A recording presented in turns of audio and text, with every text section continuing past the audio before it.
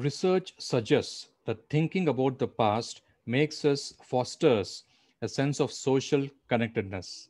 For social products, evoking a sense of nostalgia may make us want to reach out to others more, ideally by engaging more and more with the product. The folks at Google are experts at perfecting the user experience and integrating services across multiple platforms. Consider Google Photo. Compared to Google's other products, users probably don't check Google Photo that often. To drive engagement towards Photo, Google uses an in-app widget that appears across their other products. When users click on the Rediscover This Day alert, they're not simply taken to an album with photos from the day in question. Instead, Google uses the opportunity to build suspense by blurring out the picture and compelling users to think back.